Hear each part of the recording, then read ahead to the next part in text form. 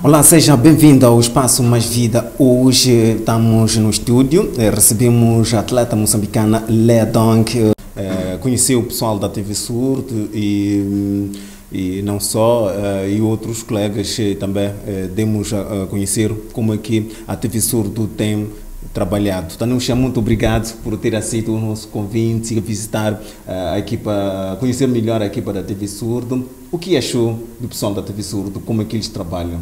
Agradecer primeiro pela oportunidade é, de estar aqui na TV Surdo e confesso que fiquei surpreendida pela organização eh, e a coordenação com a Media Lab e a outra parte que me foi apresentada. Dizer que estou mesmo muito, mas muito surpreendida pela positiva. E olhando o, o trabalho da advocacia que tem feito a TV Surdo eh, em prol das pessoas com deficiência, na explicação que teve na, na apresentação, acha que de alguma forma eh, a TV Surdo alavancar os direitos das pessoas com deficiência pode melhorar o que é os direitos mesmo das pessoas com deficiência em Moçambique, sabendo que ainda há um estigma em termos de inclusão social, ainda é um desafio. Todos nós sabemos as dificuldades que se tem em relação às pessoas portadoras de deficiência, é, mas com este trabalho que a TV Surdo tem, tem feito, é, devagar, devagar, eu creio que vai se criando uma mentalidade na sociedade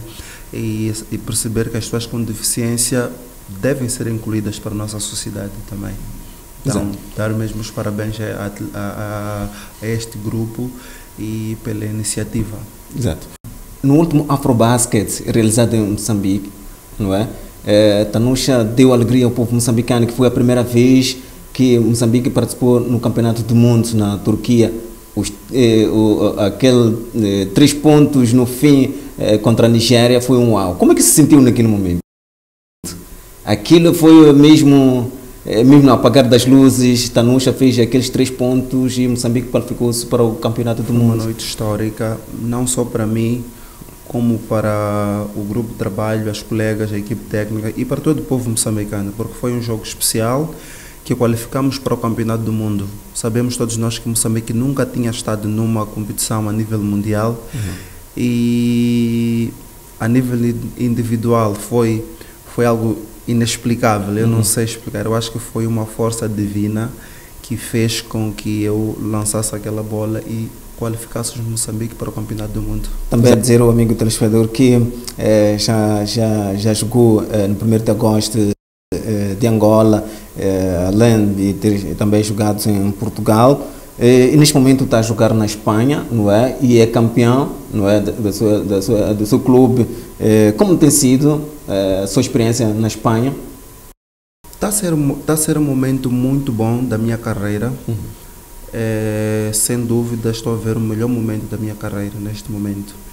E ter ganho o campeonato espanhol da primeira divisão foi das melhores competições que eu ganhei e eu sempre quis ganhar é, a nível de desenvolvimento da minha carreira na Europa, é dizer que a Europa é, é, é, é o auge Exato. do basquetebol, é o auge que qualquer atleta deseja estar numa daquelas ligas a competir.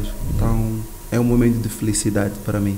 Exato. E também a seleção nacional eh, de basquetebol em sub-19 esteve eh, no Mundial o, como é que olha que a participação de, de, da seleção sub-19 pode ajudar com que uh, o basquetebol moçambicano pode alavancar cada vez mais, sabendo que também Moçambique é, é potencial no basquetebol feminino? Foi a primeira vez que tivemos uma equipa de Moçambique a ganhar uma equipa em um campeonato do mundo. Uhum.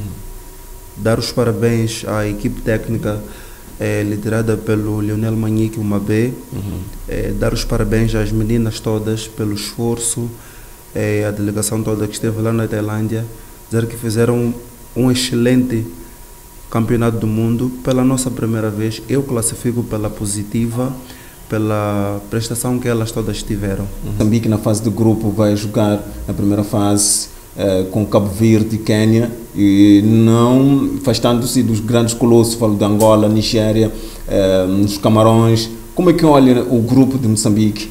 Eh, Cabo Verde e Quênia, acho que é um grupo acessível. Moçambique pode passar para outra fase. É, temos de tomar atenção primeiro que este molde este molde é um novo molde que se vai usar pela primeira vez cá em África, em que o primeiro classificado de cada grupo automaticamente já está nos quartos de final. Dizer sim, temos adversários à altura, temos adversários que regularmente a gente ganha, mas temos que tomar atenção que as equipas trabalham, as equipas evoluem, então temos que ir com a mentalidade, com a nossa humildade e sabemos que o jogo tem 40 minutos, vamos disputar o jogo respeitando os adversários da mesma maneira, da mesma maneira como a gente respeita eh, qualquer outro adversário que tem um certo peso, como o Colosso. Exato. Neste Afrobasket qualifica-se os cinco uh, uh, países para o Campeonato do Mundo uh, das Meninas. Qual é o vosso objetivo? ser campeão, também qualificar-se para o Campeonato do Mundo, estando nos cinco melhores das seleções nacionais? A federação tratou um objetivo claro, uhum. que é ganhar o Afrobasket. É, e posto isso, as primeiras, as primeiras seis equipas classificadas do campeonato automaticamente estão qualificadas para um pré-olímpico que vai se realizar num país que ainda não se sabe e nesse pré-olímpico é que se pode qualificar para o campeonato do mundo. Uhum. Sabemos todos nós que é difícil, mas vamos trabalhar para estarmos nesses primeiros seis lugares para estarmos no pré-olímpico e sonharmos com os Jogos Olímpicos. Hum. Leadong, não sei se tem um, algo para terminar a nossa conversa. Quero agradecer a Si Abdul pela oportunidade de estar aqui, é, agradecer é, a TV Surdo, a Media Lab e a todos os colaboradores por esse projeto. É, dizer que sabemos que o nosso país ainda é muito difícil ter a inclusão de pessoas com deficiência física, audiovisual, etc. Mas com essa vossa eh, dedicação, entrega, é possível que as pessoas dessa natureza sejam inclusas na sociedade. O que tenho a dizer é que continue a trabalhar e desejo muita força. Muito bem, assim que hoje nós fizemos mais vida, onde falamos com a jogadora moçambicana uh, Lea Donk, que falamos sobretudo uh, da participação de Moçambique no Afrobasket que vai decorrer em Dakar. E nós terminamos por aqui com a esperança de o amigo testador ter gostado da nossa intervenção. Nós voltamos daqui a sete dias. Até lá.